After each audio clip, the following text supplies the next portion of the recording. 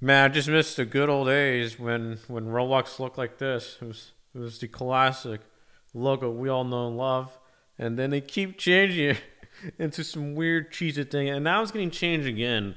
Bloxy News tweeted out Roblox could be getting a rebrand soon, and I thought rebrand meant like change the damn platform name, but no, it's just a new logo, typeface, and icon was discovered, and Roblox V542 current version is 540, and this is what it looks like. I can see that the text changed slightly, and the I think the square looks slightly different, bigger hole, I guess. Yeah, Freecraft. Uh, I like the new Roblox font and logo. It looks more fun and less corporate.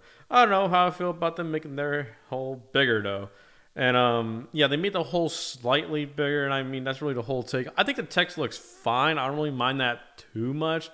It's just doesn't really matter with the hole, I guess. Let's see what the community thinks.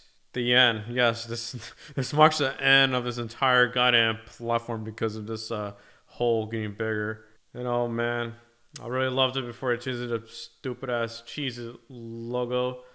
Damn man, I missed this so much. I had a stupid T-shirt with this. Please, I had these really old ass Roblox gift cards, and I would pay anything to to get these goddamn things back, dude.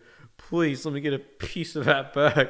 But yeah, at the end, it's not really anything groundbreaking. It's going to ruin this company down to the ground to the point where their stock's worth zero dollars and two cents.